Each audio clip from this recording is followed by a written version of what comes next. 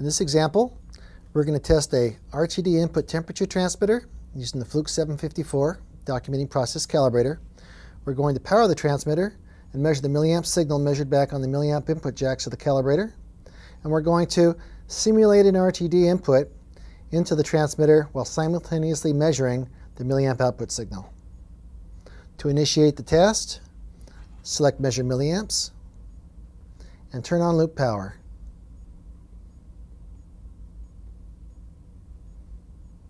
Next, we want to configure the input to the transmitter, the RTD source of the calibrator. Select thermocouple RTD and RTD, PT100 385,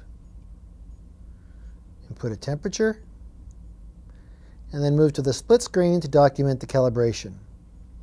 We document the calibration as found for an instrument.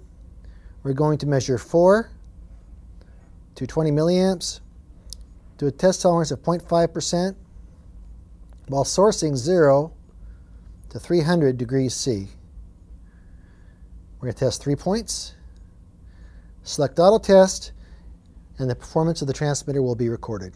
0%, 4 milliamps is being measured, error percent is being calculated.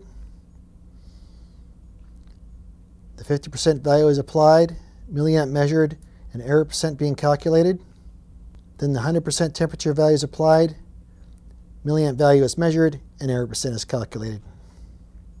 When the test is done, you have the documented applied temperature, measured current, and error percent is spanned for each point.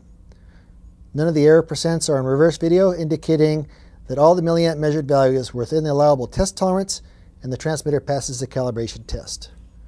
It's done. Tag serial number and ID of who did the work. Done and we're done because it passed the test. And we have completed documenting the performance of this RTD transmitter using the 754 documenting process calibrator.